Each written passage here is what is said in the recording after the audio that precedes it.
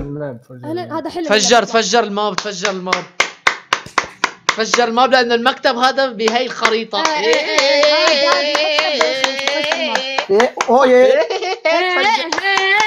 هذا خريطه هذا خريطه بعد هالحدث اللي مو مفهوم راسم من رجليه وشو صار بالماب؟ لحد هلأ ما حدا بيعرف شو صار بالماب وشو صار تغييرات. كلنا عرفنا إنه منطقة الاثوريتي أو منطقة لوت ليك سابقا بالنسبة للشابتر القديم اللي كان فيها نقطة الزيرو بوينت حاليا طلع منا نقطة ال zero point هي هي ونفس الطاقة اللي كانت بال chapter الأول هلأ حاليا معنا بال chapter 2 ف Galactus كان عم يحاول ياخذ ال zero point وما حدا بيعرف شو صار تغييرات بال map.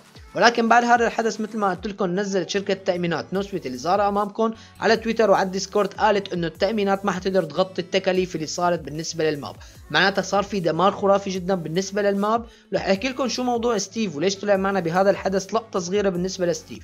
وكل شيء صار بالنسبة لهذا الحدث وشو رح يكون معنا ال season 5 وأهم شيء معنا أنت رح تقدر تلعب أول game بالنسبة لل season 5 والتحديثات بالنسبة للبلاد العربية وأنت رح تفتح السيرفرات وتنزل التحديثات. فكود دعم بال item shop نيموتس اللي ظهر أمامكم يعني تدعموني فيه لما تشتروا ال battle pass الخاص بال season 5 وطبعا رح يكون في giveaway لأربع أشخاص الخاص بال battle pass ال season 5 بسحب تحديات الأسبوع الأول. مثل كل مرة بيكون في سحب تحديات أسبوع أول مثل ما بعمل أنا كل مرة عندي بالقناة. ففعل زر الجرس واشترك بالقناة ليوصلك كل جديد وتأكد إنك تشارك بال giveaway ويلا مع بعض. فهلا والله بسكان الطابه الارضيه وفيديو جديد. بالنسبة للحدث يا شباب اللي صار معنا حاليا بالنسبة للحدث. الحدث يا شباب كان خرافي جدا مبدئيا بالنسبة ك effect وكمؤثرات وشو صار بال map الحدث خرافي جدا. وأنقذونا فعلا تبعات مارفل وأيرون مان وثور والشخصيات وأهم شيء كان معنا وولفرين وأيرون مان وثور هن اللي أنقذونا بالنسبة لجلاكتوس. طيب شو صار بهذا الحدث؟ بالنسبة لهذا الحدث يا شباب ما صار أي شيء بالنسبة لتغييرات ال map اللي إحنا شفناها. طبعا ال map تغيرت بشكل كبير وصار شغلات خرافية جدا.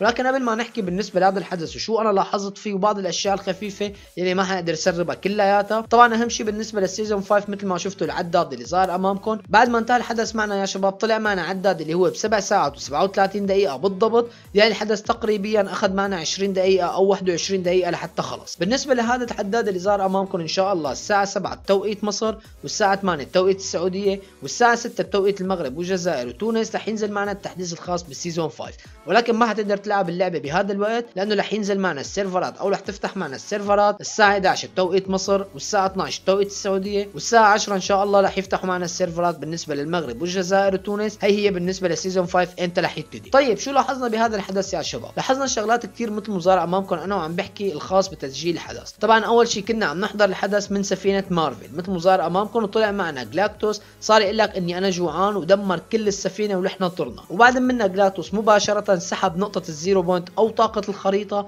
اللي هي مخلية الخريطه أو جزيرة فورتنايت أو كوكب فورتنايت مثل ما بسموه باللعبة. قائم معنا وعايش يعني لحد هي اللحظة. طبعا هي ال zero point. بعد ما انسحبت يا شباب ايرون مان طلع قال إنه نحن ما حنقدر نخليه ياخذ ال zero point. رح نحاول نوقفه. وفعليا ايرون مان وقفه وما قدر ياخذ ال zero point جلاكتوس بعد ما سحبها من منطقة ال authority بالضبط مثل ما ظاهر أمامكم هيك هلا نحن انسحبت معنا ال zero point. ولو تدمرت ال zero point كانت انتهت فورتنايت خالص. بعد منا انتقلنا لعالم ثاني اللي هو عالم ال rift أو هو عالم الفراشات اللي بتتذكروا من ال chapter الأول وطلع معنا جلاكتوس وصرنا نسوق باصات ونحاول ندمره وهيك.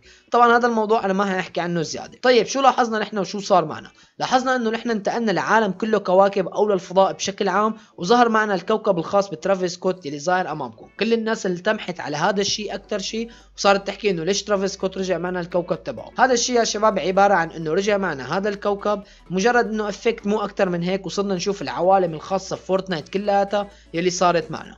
حاولنا نوقف جلاكتوس وفعلا قدرنا نوقف جلاكتوس ولكن جلاكتوس ما مات يا شباب. جلاكتوس دخل على ال rift ورح يرجع مرة تانية وأنا متأكد من هذا الكلام.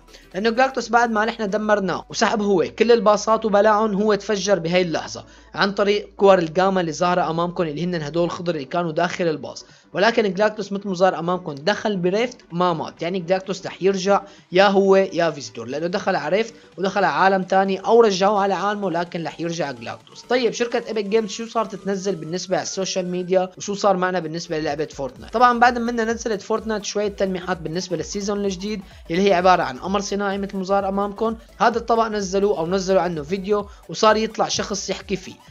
هذا الشخص اللي صار يحكي فيه يا شباب من شركة ايبك جيمز وفورتنايت وصفحاتها الرسمية هذا الصوت يا شباب الخاص بستيف اللي طلع معنا بحدث the device أو حدث الجهاز الخاص بمايدس وصار يحكي بالمكتب وهذا اللي ظاهر أمامكم. طبعا بعد منا ستيف بعد ما صحي هو كان عم يصحى على أصوات التدميرات. أصوات التدمير هذا مو حلم أو شيء. هون بعد منا ما صار الحدث وتخربت ال map هاي الحكومة الخاصة بستيف أو شركة فورتنايت بشكل عام صحي من النوم أو صحي من الغيبوبة اللي كان فيها وشاف إنه كان في دمار وأصوات دمار وهالقصص هي هذا الشيء ما حنقدر نكمل أكثر من هيك. أنا عم بشرح لكم الحدث هيك بشكل بسيط. ولكن بعد منا هلا رح ورجيكم المقاطع اللي طلعت معنا ونزلتها شركة فورتنايت كاملة على صفحاتها الرسمية وأرجع لكم.